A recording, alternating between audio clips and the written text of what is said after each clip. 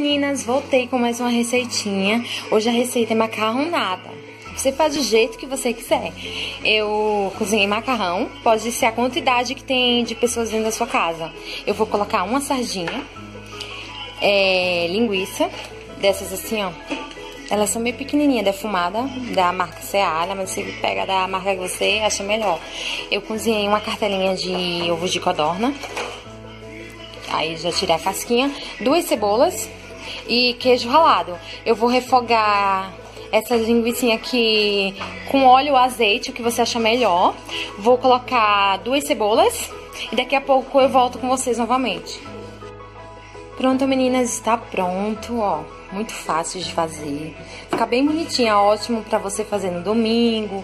Uma coisa rápida, eu gastei menos de, de meia hora para fazer isso aqui.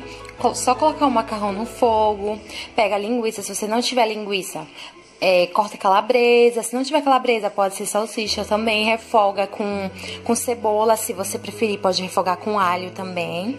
E coloca dentro a sardinha também para refogar junto da calabresa ou da linguiça, do que você preferir.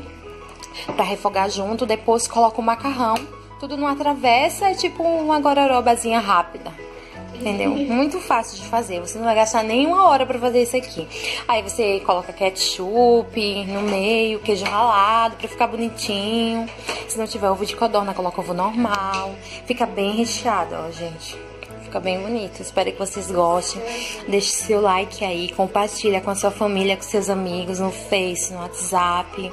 Isso ajuda muito, tá, gente, a manter o canal. E pode falar uma receita que vocês gostariam que eu fizesse, que eu faço aqui, tá? Beijos, até a próxima. Se você não for inscrito, se inscreve aí no canal, tá bom? Dá um like.